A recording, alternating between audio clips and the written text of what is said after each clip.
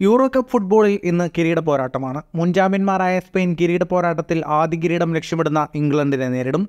Indian സമയം രാത്രി പന്ത്രണ്ടരയ്ക്ക് ബെർലിനിലാണ് final.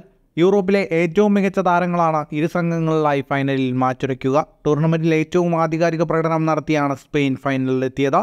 കിരീട സാധ്യത കൽപ്പിക്കപ്പെട്ടിരുന്ന ക്രൊയേഷ്യ ഇറ്റലി ജർമ്മനി ഫ്രാൻസ് എന്നീ വമ്പന്മാരെ വീഴ്ത്തിയാണ് സ്പെയിന്റെ ഫൈനൽ പ്രവേശം.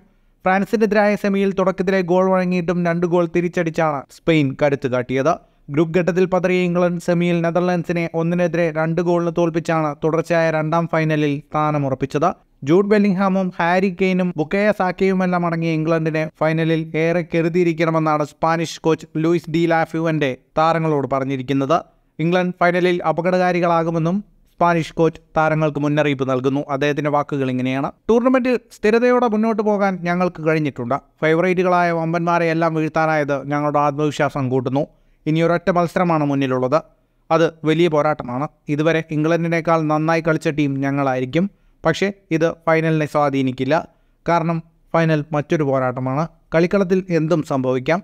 മികച്ച താരങ്ങളുള്ള ശക്തമായ ടീമാണ് അവരുടേത്. ക്ലബ് തലത്തിൽ മികവ് തെളിയിച്ച നിരവധി താരങ്ങൾ ഇംഗ്ലീഷ് നിരയിലുണ്ട്. അവരും കിരീടം ലക്ഷ്യമിട്ടാണ് ഇറങ്ങുന്നത്. ഫൈനലിൽ ശക്തമായ പോരാട്ടം ഉണ്ടാകുമെന്ന് ഉറപ്പാണ്. ഇതുകൊണ്ട് തന്നെ ഫൈനലിൽ ഇംഗ്ലീഷ് താരങ്ങളെ കരുതിയിരിക്കണമെന്നും ലൂയിസ് ഡി ലാഫിയോന്റെ തന്റെ താരങ്ങൾക്ക് മുന്നറിയിപ്പ് നൽകുന്നു.